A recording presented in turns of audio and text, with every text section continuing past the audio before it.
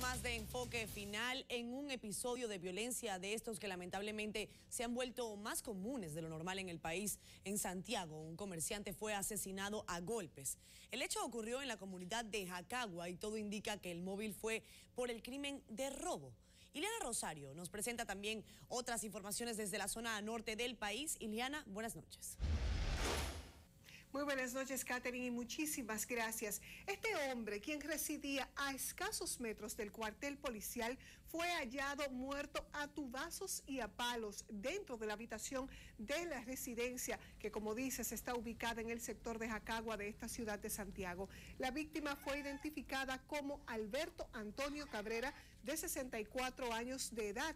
Hasta el momento se establece que fue ultimado para despojarlo de una pistola dueño de esta propiedad fue encontrado muerto en la mañana de hora, Alberto Antonio Cabrera, de 64 años de edad. Y su cuerpo fue trasladado al INACI a los fines de la autopsia.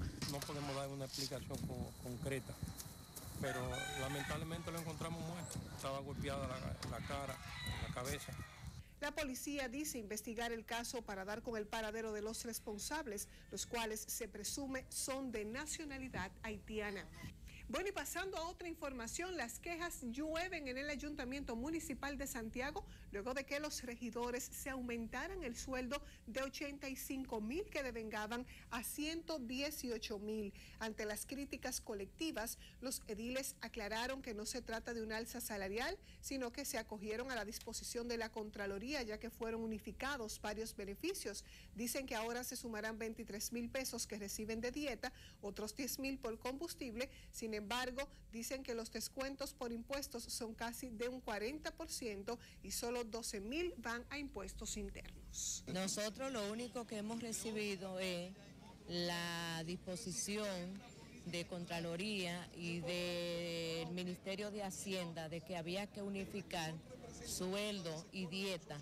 Ni tenemos en carpeta ni se ha, ha hecho ningún aumento. Realmente lo que se consolidó la dieta con el salario. Es decir, que la acción que hemos hecho es en detrimento de los regidores. Lo que pasa es que a los adversarios les gusta especular mucho.